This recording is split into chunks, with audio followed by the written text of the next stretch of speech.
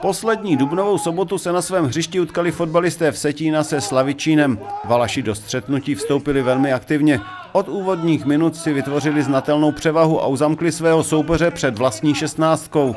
Ve čtvrté minutě zahrávali trestný kop kundrátkem, se kterým si však hostující brankář Vypušťák hravě poradil. Přibližně po deseti minutách se slavičínští z defenzivy vymanili a srovnali krok. Ve 13. minutě se jim naskytla výhoda trestného kopu, ovšem domácí golman Eliáš jej bez jakéhokoliv problému zlikvidoval. První branka padla ve 40. minutě. Z pravé strany poslal míč Kalus před 16 na zcela volného kapitána Školníka a ten dělovkou vymetl levý horní roh Eliášovi branky. Domácí zareagovali až tři minuty před koncem utkání. Novák na hranici desítky byl nemilosrdně sražen bránícím Goňou a hlavní rozhodčí nařídil penaltu. K míči se postavil Šulák a svou trefou vybojoval alespoň bod. Setín remizoval se Slavičínem 1-1.